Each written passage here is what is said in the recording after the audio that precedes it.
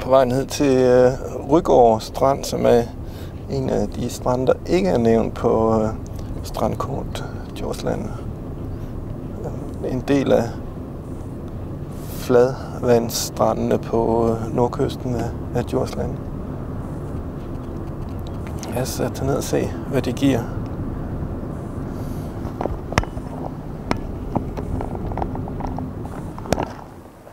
Stranden her er kendetegnet, at man kan øh, køre helt ned til vandet. Der er nok øh, 20 meter fra den øh, tættest på parkeringsplads. Der er en, også en lidt længere op ned til vand.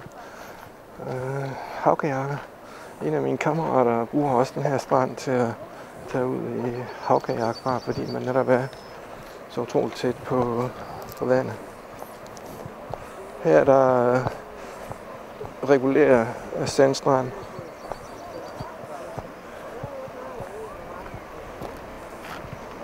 Som øh, gældende for en af de første af de øh, norddjurske strande ud fra, fra Djursland, hvor, hvor der på de andre øh, faktisk ikke er nogen øh, sandstrand, men øh, en klit, som man... Øh, ikke en klit, en, øh, en revle, som man går ud til at bade fra, sådan en semi-permanent ø. Men her er der altså en sandstrand. Også rimelig velbesøgt. Ret øh, fladvandet og børnevenligt.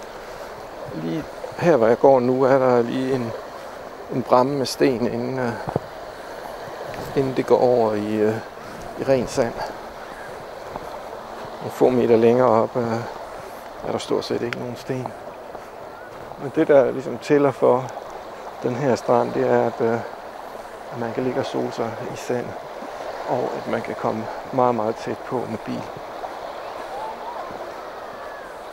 Og det, der så også tæller for, det er sikkerheden, den safe øh, strand, lavvandet, men ikke så lavvandet som længere ind mod Jylland. Det vil sige, at hvis man vil svømme, så kan man godt gøre det. Gå lidt ud øh, og så svømme. Det kan man knap nok fra de øh, fra strandene lidt længere ind mod, mod Jylland. Det er fladvand langt, langt ud.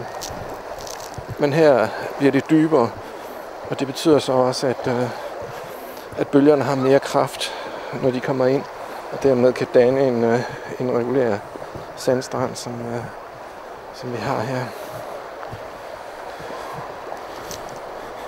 20. juli 2016.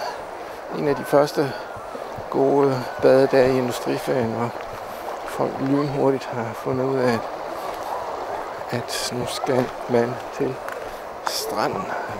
Formentlig 80% af de mennesker her er sommerhusfolk. Den vej øh, retning vest ind mod Jylland. Så vi panorerer rundt. Så kommer nordlige Kattegat der. Og øhm, den her vej, det er ned langs øh, Djurslands øh, nordkyst, som har en, en stribe af, af sandstrande, inden øh, Djursland går mod syd, hvor det går i 50 km stenstrand, bortset fra øhm, um, Renå Sandstrand, som er en af, faktisk en af de bedste strande på Djursland. Det er måske lige kan tilføje, det er, at uh, de øh, uh, tang stenbælter, der måske kan anes derude, samtidig også er et godt snorkelvand. Det sted, hvor der vil ligge skrubber, og hvor man kan fange rejer med et, uh, et rejenet, så det er ikke kun øv bøv, det går ondt i tæerne, fordi man er på jagt efter en sandstrand. Man kan snorkle her og fange aftensmaden. Og det gode ved den her strand, det er, at man skal ikke så forfærdeligt langt ud for at komme ud på en, en to meter vand, hvor der sandsynligvis vil være masser af, af skrubber, som er et spørgsmål om moderation i forhold til ikke at komme hjem med flere fisk, end man kan spise en aften.